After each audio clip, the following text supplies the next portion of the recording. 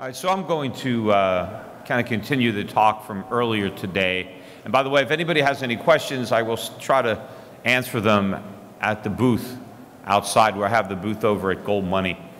And, and if you have any cards that you filled out earlier today, you can hand them back to me. In fact, if you didn't get a card, if you want to fill out your name, get on my mailing list, um, I will, um, you know, you can grab some at the booth or here, just passing them out. But now, the U.S. economy is probably the most important economy from the perspective of most investors. You know, we are the largest economy. You want to measure it by GDP. We are certainly the biggest debtors. Americans borrow money from every other country. We borrow money from the poorest people in the world are lending money to the United States. We are the world's biggest importer course, we don't pay for our imports with exports like a lot of other countries do. We just issue IOUs. So the world loans us the money that we need to buy the products that they produce.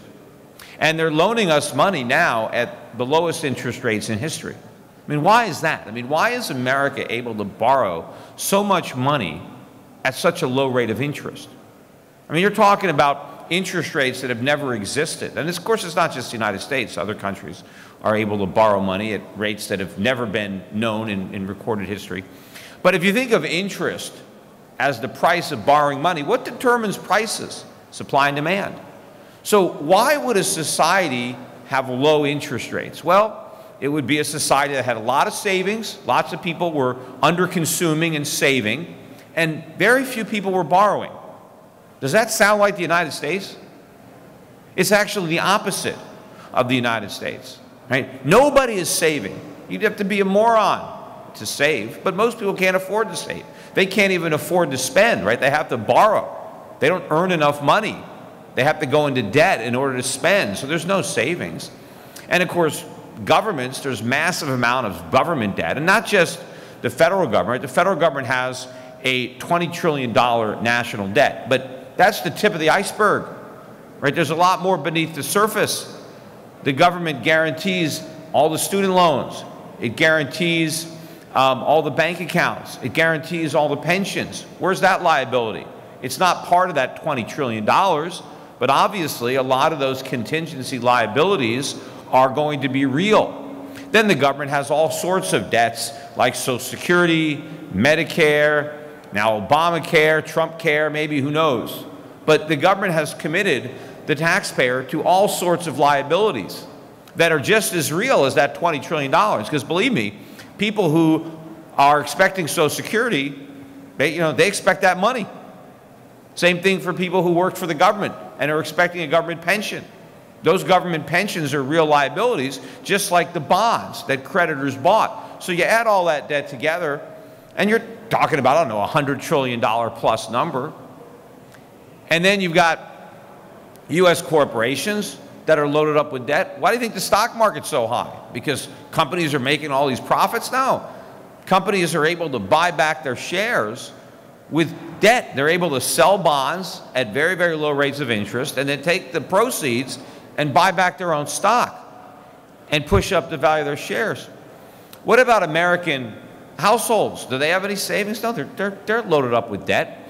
You know, one of the statistics I hear, which is really not, not true, is that, oh, well, you know, American household debt is, um, you know, is not as bad as it was, let's say, in 2008. It's actually worse.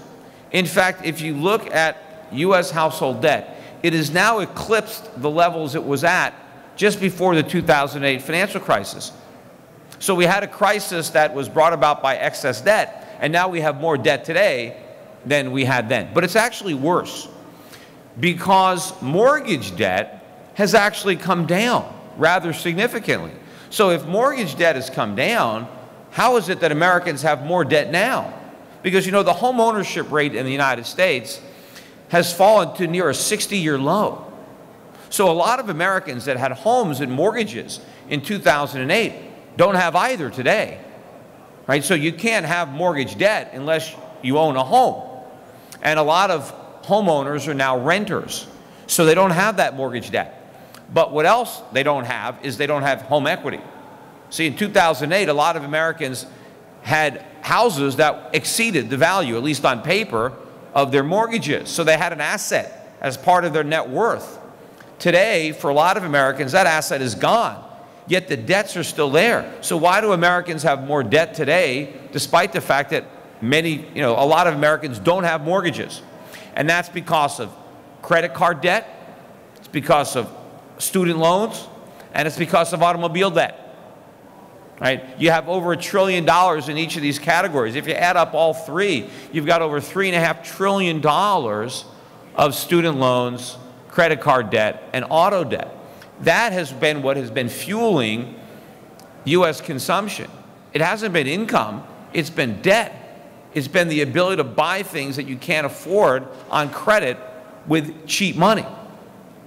Now, of course, some people will point to the low unemployment rate to say, well, the U.S. economy is in good shape because look how low the unemployment rate is, right? It's the lowest it's been in like 50 or 60 years. Well, if unemployment is really that low, right? First of all, why did so many people vote for uh, Donald Trump? If the economy is that great, right, why, why, you know, why didn't people want more of the same? Why didn't people vote for Hillary Clinton so that, you know, all that great stuff would continue? Why did people want to change something that's so good? Because that number is nonsense. The way the government measures unemployment is, I guess it's similar to the way they measure inflation. The number is not designed to be accurate. It's designed to paint a rosy scenario so that people believe that things are better in the U.S. economy. How did the unemployment rate get to be so low? Is it because so many Americans that used to be unemployed are now working? No. It's because so many Americans that used to be employed aren't even looking for jobs. And if you're not looking for a job, then you're not counted as being unemployed. But the other way that the government was able to manufacture all this employment is by counting people who have part-time jobs as being employed. Because once upon a time, if you had a part-time job, that didn't count. Especially if you were looking for full-time jobs. Because sometimes people take a part-time job just to make ends meet while they're looking for a full-time job. So if you still spend most of your time looking for work, you're unemployed, right? If you're an, if you're an engineer, but you're, you know, you're, you're um, cooking french fries, you know, for 20 hours a week, and then you're spending the rest of your day looking for an engineering job, you're an unemployed engineer. You're not a fry cook. But now, if you have any job, even if you work an hour a week, you're employed. Even if you spend the other 40 hours looking for a job, you don't count as being unemployed. And in fact, if you have more than one part-time job, but all of your part-time jobs together add up to a full-time job, all those part-time jobs get scored by the government as being full-time jobs. See, that's one of the reasons that we were able to create 200,000 jobs a month, month after month under Barack Obama. It was because we had this massive transition in the U.S. economy from full-time employment to part-time employment. And a lot of that was driven by Obamacare itself. Because when Obamacare was passed, the, the law said that if you are an employer and you have 50 full-time workers, you have to provide very expensive health insurance for every one of your employees. And so what that law effectively did was say that you're not going to have more than 50 employees. And an employee has to be somebody who works full time. You have to work 30 hours or more. So what the employer said, okay, we're not going to have more than 50 full-time employ employees. And it's actually worse. Like if you own a bunch of franchises, let's say I own a bunch of McDonald's franchises, because sometimes people own more than one restaurant. If I own five restaurants and collectively all five of my restaurants have 50 employees, I got to pay health insurance for everybody. It's not, it's not per restaurant, right? So people that owned a number of these small restaurants knew, okay, I can't have full-time workers. So all throughout the United States, employers were transitioning from a full-time workforce to a part-time workforce because it was too expensive to employ part-time people because of Obamacare. Now, what does that do to the numbers? Well, that means all sorts of jobs are going to be created. Look at employment in the United States. You can look at employment in the restaurant industry, in uh, waiters, waitresses, off the charts. We've created so many jobs, yet Fewer Americans are actually eating out. Look at what's happening to a lot of the restaurant stocks.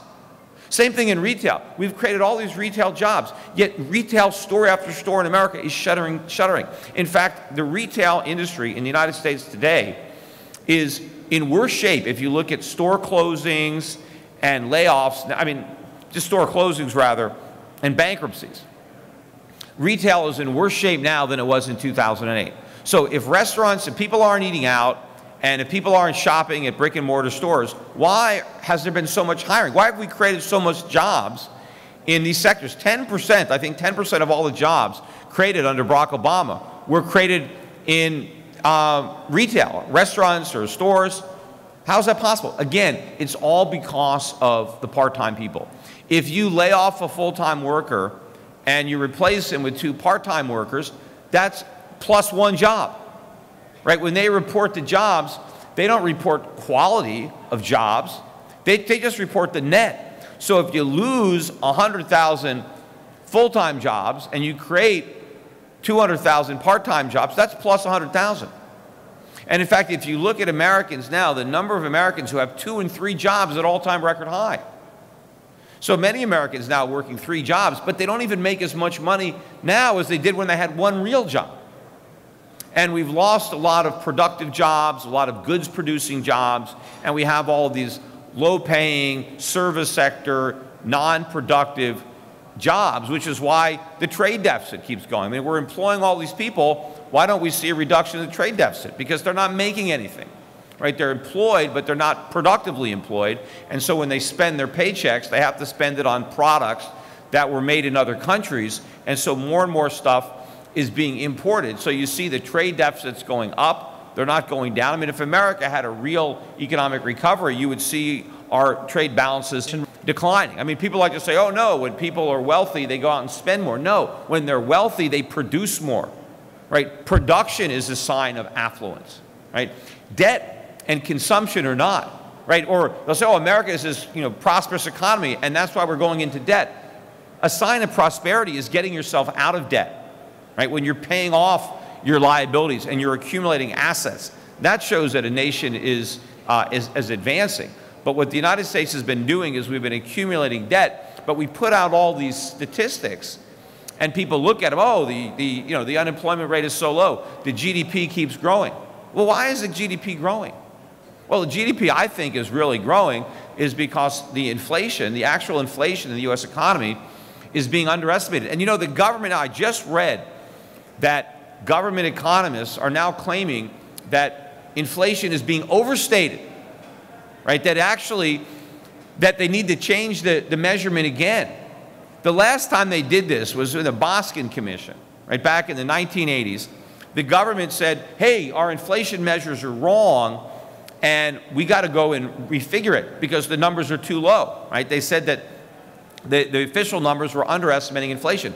And so they went back and they, they changed the way they calculate inflation. And what do you know? Now inflation is lower. Right? Not because prices are rising more slowly, it's just because of the, the way that we measure the rise. And of course, what are the, what are the politicians saying again, or the economists? They're saying that the current uh, way that we calculate inflation is still not giving enough credit for improvement in quality. So they're saying we've got to make more reductions because things are getting so much better. They're not, they don't really cost more. We're just getting so much more for our money. But, you know, from my perspective, there are a lot of things where the quality is going way down. In fact, there's probably more examples where you get less for more. And none of that gets factored in uh, to the CPI. I mean, all sorts of things that you used to be able to buy that were fully assembled, now you buy it and it's in 100 pieces and you got to put it together yourself, and it takes you three or four hours. What's your time worth? Right? According to the government, nothing. Right? So there are a lot of products where it's going the other way. But all this government is trying to manipulate. So our nominal GDP growth in the United States has been minimal. Right? We haven't even had under under Barack Obama, we didn't have one year of 3% growth. Generally, we had growth of under 2%. We had uh, 1.2 is what the government estimated annualized for the first quarter for the U.S. And that's despite the fact that we've had the lowest inflation at least the lowest official measures of inflation ever. Well, I think if we had a more accurate, a more honest measure of inflation, the result would reveal that the United States has pretty much been in recession for the entirety of this recovery. And I mentioned at my talk earlier today that this is the first recovery that is actually weaker than the recession that we recovered from. Right? It's the first recovery where people are poorer at the end than at the beginning. Right? Real net worths went down during the recovery. Real wages fell during the recovery. It doesn't sound like a recovery, and the reason is because it's not. The government manufactured it with statistics, but the statistics didn't fool the voters. That's why the voters elected Donald Trump, because they want to change. But unfortunately, they're not going to get change. They're going to get more of the same, because I think we are now, and I mentioned earlier, headed for a complete collapse of this system. I don't think there's, there's much more air that can be put into this bubble. Right? The 2008 financial crisis was a sign that the, the end is here or end is near. That, that was the beginning of a process. But the fact that the central banks, and not just the Federal Reserve, but central banks all around the world have had to pull out the stops to try to keep the wheels from coming off this bus. I mean, you've got interest rates now in, in Europe that are negative, in Japan. They're not negative here, but real rates are negative in the United States because if you look at even the government's own inflation measures, as bad as they are, still show that we have negative interest rates in real terms. And the reason that central banks have been able to con the world into accepting this is the idea that there's no inflation, that there's never going to be inflation. Well, this is about to change. If you look at measured inflation rates around the world, as bad as these numbers are, you're still seeing official inflation in the United States, Europe, and Japan around five, five six year highs. All these, all these central banks. Now, even in, in, in, uh, in Europe, the, the CPI now uh, is 1.9% year over year increase. That's it. That's, that, they can't let it go any higher. Right? If you ever listen to Mario Draghi, he always says that the, the goal of our monetary policy is to have inflation close to but below 2%. Well, that's it, 1.9. You can't really get much closer than that. And if you get to 2 point, if you get to 2, that's too high. So they're going to have to start backtracking. But people are going to find out, and central bankers are going to find out, that inflation is a very difficult uh, genie to put back in the bottle. And you cannot stop on a dime. I mean, this whole inflation targeting is complete nonsense that we need some positive amount of inflation as if inflation is actually beneficial, that without inflation, right? And when I say inflation, they really mean rising prices, right? So economists think we need prices to rise by almost 2% a year. And if they don't, it's going to be a disaster, right? Prices going up only by 1%. Why is that a problem? If the cost of living goes up 1%, why is that worse than the cost of living go up 2%? And what's the problem if the cost of living goes down? I mean, isn't that a good thing? Right? If my costs are lower, if food is cheaper, if education is cheaper, if health care is cheaper, eh, what's wrong with that? Right? I mean, my cell phones get cheaper. No one complains about that. That's not a bad thing. Computers get cheaper.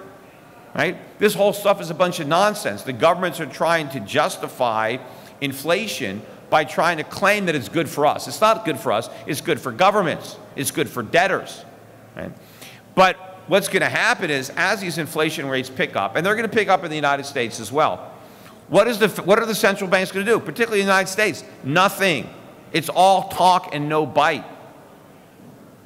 So the U.S. economy, as I said earlier, this phony recovery is about run out of steam, right? We've, this recovery has been going on for eight, nine years, something like that. It started uh, 2009. It's already, I think, the second or third longest recovery in U.S. history.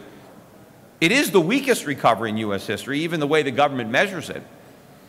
But it's required more stimulus. We've had more government stimulus than ever before. More money printing, more artificial, and all they can produce is one of the weakest recoveries ever. But according to the budget that Donald Trump just submitted to Congress, it's going to last for another 10 years.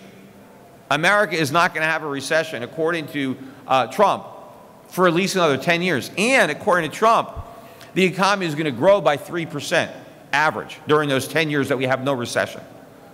despite the fact that we haven't had one in, what, eight, eight years, which would mean that if the Trump budget is correct, this is going to be the longest um, expansion in U.S. history, and it'll be more than twice as long as the, the second longest, right? None of this stuff is true. And, and so once the economy turns down, which it will, I mean, it, we could enter recession this year. We could be there. And remember, the government doesn't admit you're in a recession, in many cases, till it's almost over. Remember the Great Recession of 2008. I was going on television shows, summer of 08, talking about this recession that I thought was coming. We were already in it, right? And I, you know, but the people I was arguing with were saying, oh, no, no, there's no recession coming, everything is great, right? In mid 2008. But when they went back and tried to figure out the beginning of the recession, they went back and changed all the GDP numbers.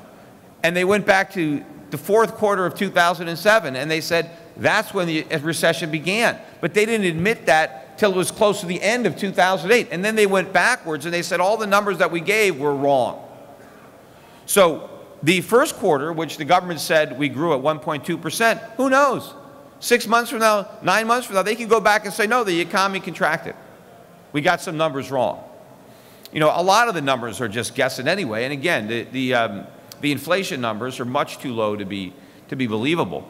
But we go back into recession, and the Federal Reserve is going to, what are they going to do? They're going to cut interest rates. But how much are they going to cut them? They're almost at zero. I mean, even if they succeed, let's assume they raise interest rates again in June, right? The markets figure the odds of that are 100%. If that's true, despite how bad the economic data is, because remember, the Federal Reserve has been saying the whole time that they're data dependent. Meanwhile, the data that they claim on that they claim to depend on has been lousy. Right? One of the reasons I thought the Fed was not going to raise rates was because I thought they would use the weak data as an excuse not to raise rates. But they were dumb enough to raise rates anyway. And it's not because we don't need higher interest rates, they should be much higher. But the Fed doesn't care about doing what's right. The, the Fed cares about kicking the can down the road and just, you know, kind of putting band-aids on a cancer because they don't want anybody to know how bad it is. And, and so when we have this next uh, downturn, since rates are only 1%, even if, they, even if they raise them again, right, they'll be 1 to 1 and a quarter if they raise them one more time. Right? Then we have recession. How much can they cut? From 1 to 0? How much stimulus is that going to be? So where is this stimulus going to come from? The Fed has already said it. Quantitative easing. They're going to do it all over again because they're convinced it worked so great the first time. Well, it never worked the first time. That's why the recession was so bad because the government interfered.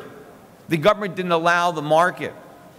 What, was, what, what should the Federal Reserve have done in the aftermath of 2008? They should have recognized that their policies caused the problem, that it was keeping interest rates too low that caused the speculative excesses and the economic imbalances, and they should have allowed free market forces to correct the problems that they created.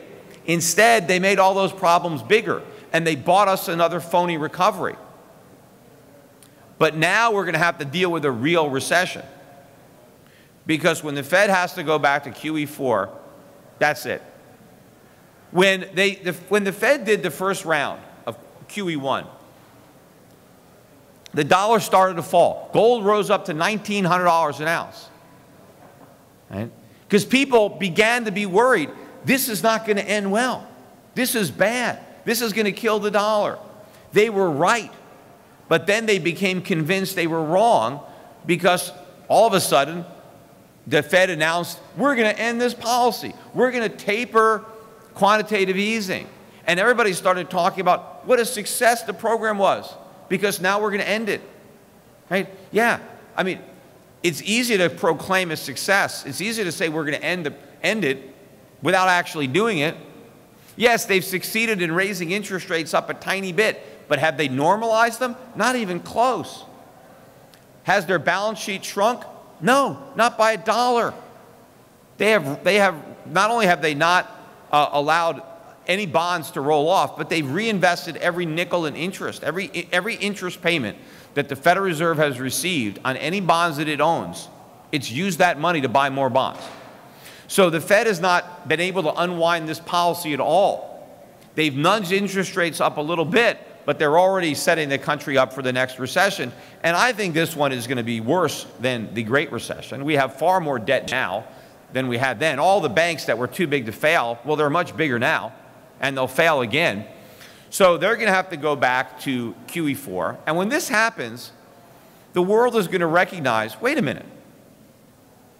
If they were not able to normalize interest rates the last time, if they couldn't shrink a $4.5 trillion balance sheet, how are they going to shrink an $8 trillion balance sheet or a $10 trillion balance sheet? Who knows how big this balance sheet is going to have to get, right, as a result of the next quantitative easing program? I mean, we go into the next recession, they're going to have a tax cut, right? The government is going to cut taxes. No one's going to be against a tax cut in a recession.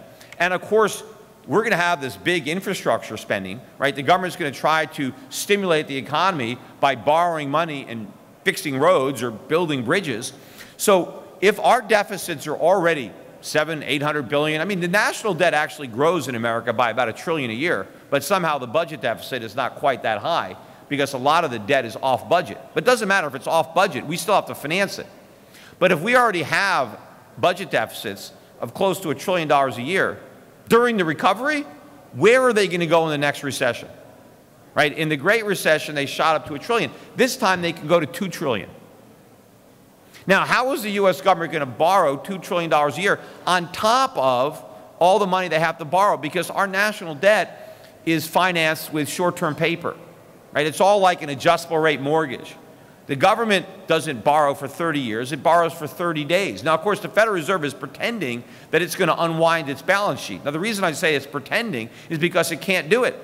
Because if we're going to run large budget deficits, how is the Federal Reserve going to sell bonds in competition with the Treasury? See, a lot of people say, well, the Fed's not going to sell, they're just going to let the bonds mature and not roll them over. That's the same thing.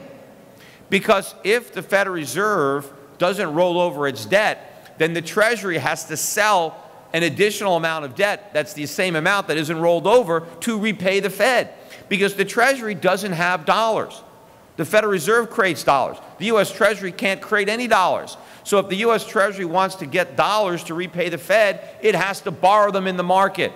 And if it's not borrowing from the Fed, it has to find a private buyer. So can you imagine having $2 trillion deficits and at the same time the Federal Reserve or the Treasury having to borrow another 500 billion to pay off the Fed.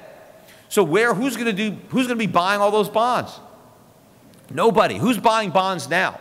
I mean no real investor is buying US Treasuries, 10-year Treasuries at what 2%, whatever they're at or 30-year Treasuries are not even 3%. Nobody is dumb enough to think that's a good investment. The buyers are foreign central banks. The buyers have been the Fed. The Fed is holding on to a huge portfolio of long-term treasuries. Banks have them because they're required to have them as, as, you know, as, as an asset. And speculators, you know what happens is people borrow money short and then they buy treasuries and they live off the carry. You know, if you do that with a lot of borrowed money, you can make money. But there's no real investors in this market. But I think that when the Fed goes back to QE4, Nobody is going to believe that this is a success. Nobody is going to believe that it's going to end. And as the official inflation numbers continue to move higher, right, and the Fed's inflation rate is 2.5%, 3%, 3.5%, 4%, and it can go there very quickly. I mean, we're not too far. We're, you know, we're at 2.3, 2.4% right now. We're already above their so-called 2% level. Remember, 4% inflation is where Nixon imposed wage and price controls. We're going to go through 4% inflation, and the Fed's going to do nothing. And why can't they do anything? Because it's impossible. Because we have too much debt. What would happen? What would happen if interest rates went up to 5%? What would the interest be on a $20 trillion national debt? A trillion dollars a year. That's about four times what we spend right now. Where would the U.S. government get the extra money to pay the higher interest? What would happen to the housing bubble if mortgage rates went up? What would happen to corporations if interest rates went up? What would happen to commercial real estate in the United States? It would all implode. The whole house of cards is being held up by these artificially low interest rates. The only way we can service this debt is with these low interest rates. I mean, we can never repay it. And when our creditors figure that out, that's when they want their money back. That's when the music is going to stop. So what's going to happen is as we go to QE, I don't think the foreign central banks are going to be financing it again. Remember, Donald Trump will, will, will, will label people currency manipulators, right? No one's going to want to just start printing money and buying up dollars to artificially prop up the dollar, where Trump is publicly calling for a weaker dollar and trying to single out countries uh, that are manipulating the currency markets. What they're really doing is propping up the dollar. But when they stop propping up the dollar, it's going to collapse. And I think that ultimately, the Federal Reserve sacrifices the dollar. It's the one thing that they don't care about because they want to keep the bond bubble inflated. They want to keep the real estate bubble inflated. They want to keep the stock bubble inflated. And the only way they can do that is by printing money and trying to postpone the pain. But by doing that, they just make the pain that much worse. All these bubbles are going to deflate because eventually the Federal Reserve is going to have to choose between turning the dollar into monopoly money, having hyperinflation, or reluctantly and, and, and much too late, eventually letting interest rates go up. And they're not just going to go up a little, they're going to go up a lot. They're not going to stop at 5%. Remember, under, under Ronald Reagan and Paul Volcker, they went to 20%. If they can go to 20% back then, when the United States was in much better shape economically, we, were, we had a much better balance sheet in 1980 than we do today. So if they can get to 20% then, they can go there again. And imagine what happens in, in the economy when that, when, if that's the case. I see here that I'm, that I'm out of time. So if anybody has any questions uh, about this or what to do, again, I had the talk earlier about how to prepare your portfolio. But I don't think this is something that's going to happen off in the distance. I mean, this is something that is going to happen soon as far as the scheme of your portfolio and your investments. And the quicker that you can insulate yourself from this, the, the, quicker that you can devise a portfolio that will profit from this. I mean, there are going to be people that are going to make money from what's going to happen. I mean, far more people are going to lose money, and more important than losing money, they're going to lose the purchasing power that's associated with their money. You're going to have a lot of, you know, poor people that are, that are rich in, in, in paper currency but they're not going to be able to buy anything. So the key is preserving your purchasing power and owning the assets that will retain that purchasing power and actually grow in purchasing power as this crisis unfolds. Thank you.